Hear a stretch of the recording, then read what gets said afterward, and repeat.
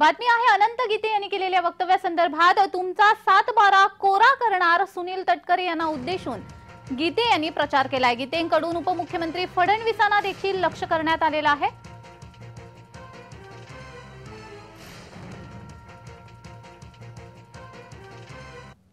त्यांनी कुणी मला चिठ्ठी पाठवली आहे त्याला मी सांगतोय.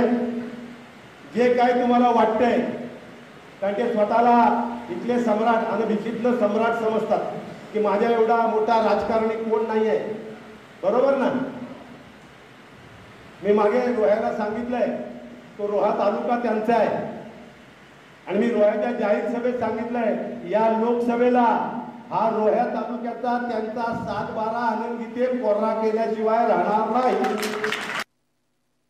हे यापूर्वी कधीही महाराष्ट्रानं पाहिलं नव्हतं कारण सुसंस्कृत महाराष्ट्र सुविचारी महाराष्ट्र सुबुद्ध महाराष्ट्र विचारवंतांचा महाराष्ट्र संतांचा महाराष्ट्र शूरांचा महाराष्ट्र वीरांचा महाराष्ट्र अशी ओळख असलेल्या या महाराष्ट्रामध्ये हे जे नीच राजकारण गलिच्छ राजकारण केवळ सत्तेकरता देवेंद्र फडणवीस यांनी सुरू केलंय त्याबद्दल सर्वसामान्य महाराष्ट्रातल्या जनतेच्या मनामध्ये कमालीचा तिरस्कार आहे चीड आहे संताप आहे आक्रोश आहे.